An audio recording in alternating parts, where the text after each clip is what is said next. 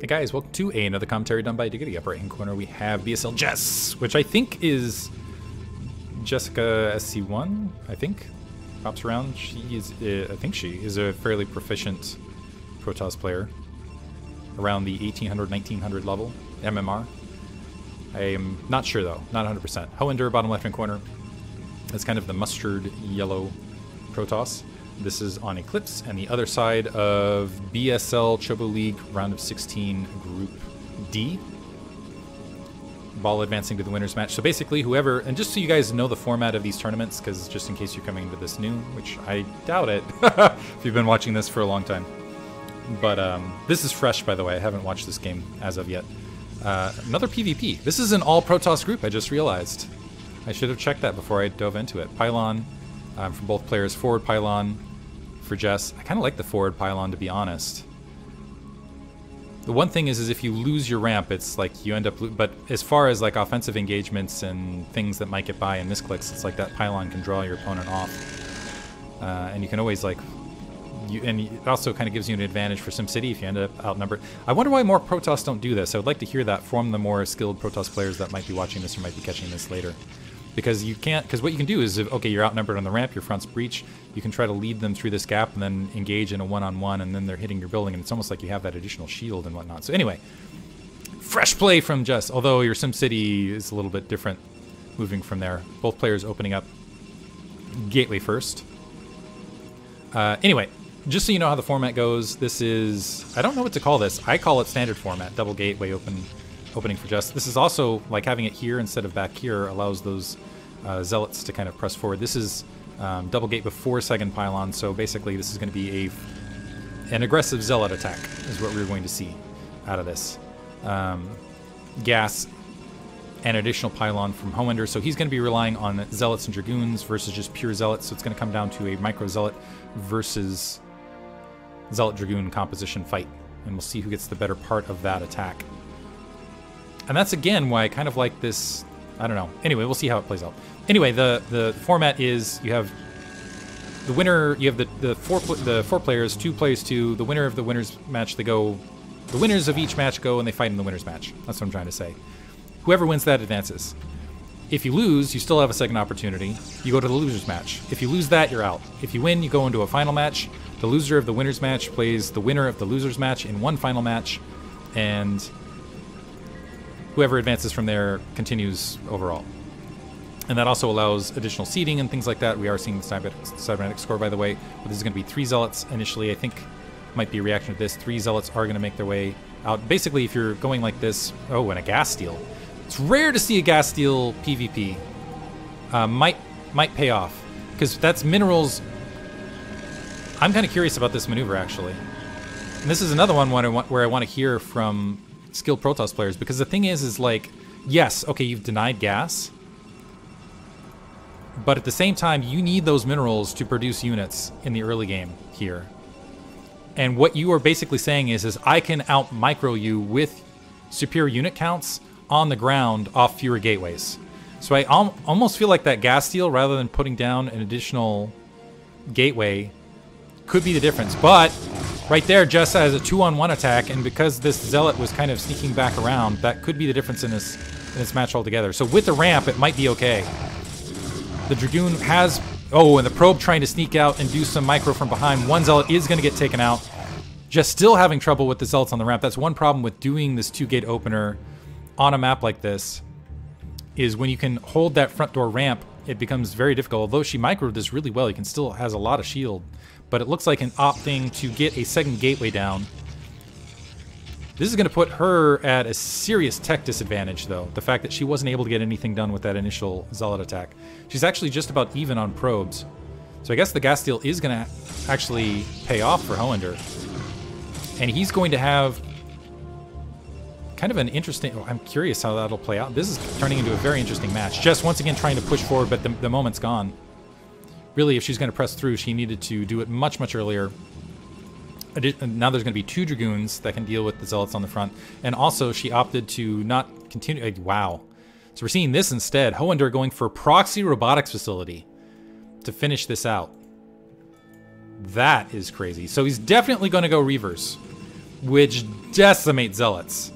So with this gas steal, he's like, okay, I know that you backed off with this attack, which suggests you went Nexus. Your tech is going to be severely delayed. I'm going to go ahead and go this proxy robo. So not only am I going to be able to range your cannons, the units you have on the ground, these zealots that just end up sitting in clumps like this, are just going to get rocked by the splash damage that I am able to levy on you. And I think that might be a game-winning maneuver. Wow. There's the Robo. Just sitting out with this zealot just in case this happens, where oftentimes people move out with their the entirety of their army. Hoender showing some good skill though, recognizing that's a possibility, recognizing there could be a sneaky probe scout underneath, and sending out kind of skeleton forces in both locations to see if he can find this exact thing from Jess. So I've seen Hoender around. I did not know his level of skill. Jess, though, also showing some skill. She is going to see this proxy and might have an opportunity right now if she moves all of these zealots while this position's undefended, and that could swing her right back in this match. Probe attacking, the zealots moving down. This is Hoender's going to have to micro his way into this. This is the other thing. He has things to defend, so this might cost him now. Working on that pylon. Just going to ignore everything else. As soon as that pylon's down, he can re-engage on top of this entire army. Needs to be careful, though. Jess is just going to retreat, though. She doesn't feel like she wants to engage on these zealots. Feels like Hoender has enough of them where we'd be able to micro against it. Now Hoender has an opportunity where he can place an additional pylon. The thing is, is I don't know that Jess... This is also going to supply cap him, which is another critical thing. Ooh, Jess, you're misrallied. Pull that back. Get it back. All right. Dragoon back on the front. She needs to pump a lot of Dragoons and with some haste. And it, it, it's actually still anybody's game. It's going to come down to this defense. Unfortunately for her, this is a superior Dragoon count on the front, and I think a superior army overall. And that Reaver is going to be able to just levy shots, but she has a Nexus up. And she can get these additional gateways down. I think she's reading this correct.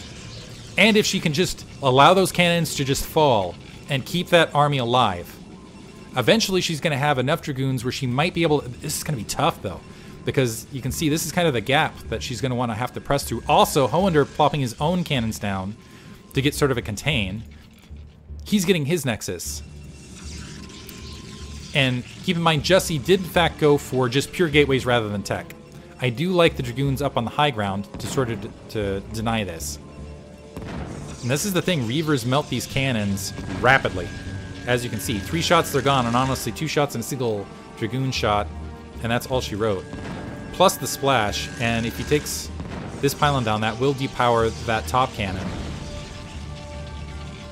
opting to work on that. Now flooding the front, and did Jesse miss the opportunity? Is the timing there or not? Hoender backing off a little bit. Shield battery here as well. Additional cannons being placed. Just trying to buy all the time she can. Additional Dragoons stationing up.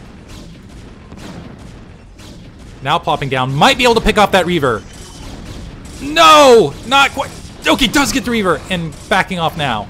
Still another Reaver on the field. It's not over yet.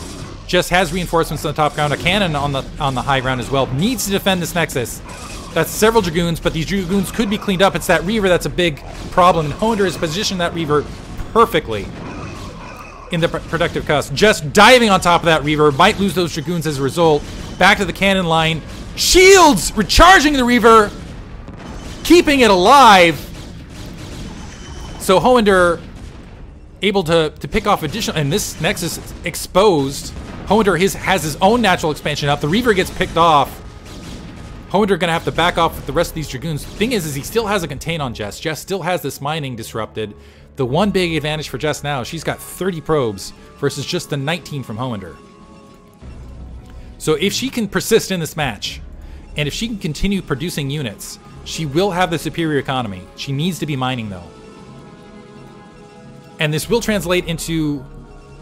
This will overcome that tech disadvantage and will turn into a superior position. But it's the timing, it's the micro. Moving out, trying to pick off what she can while that Reaver is down. Focus firing some of these units. I think that shield battery, yeah, it's out of recharge after that last Reaver engagement. So he's going to be able to clean up this contain on the front, still losing a lot of Dragoons to do so, but I think that is a worthwhile exchange. Because if she can establish this front, if she can go ahead and get these units out, ah, oh, there's GG from Hollander, realizing that, yeah, not going to be enough. Doesn't want to fight it out. It's like, I'm, I'm going to lose. Still chatting from there. I'll let them fight it out. Go into Polypoid, apparently. Um, essentially, just breaking that contain was going to be able to take out that proxy tech. Taking out that proxy tech was the one advantage that Hollander had. Nice play by Jess. Nice play. Doing exactly what needed to be done to come back and seal this match. Well played. Well played. Hope you guys enjoyed that one. We will move on to match two between Jess and Hollander momentarily.